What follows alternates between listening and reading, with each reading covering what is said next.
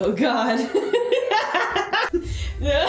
On exactly, and you're gonna lean, lean your head. Yes, but then like look stoic, you know? Look like there's nobody home. Exactly. No, that's you're trying too hard.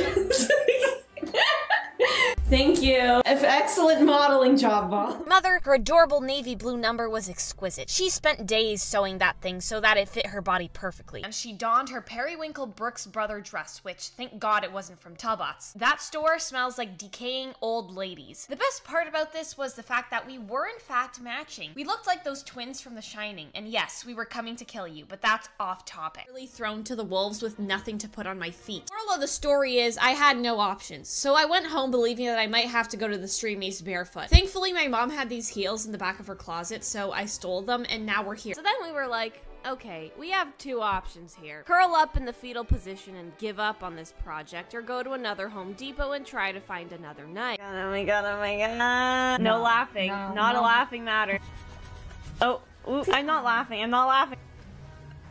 Ow. Three. Ah! Ah! That hurt.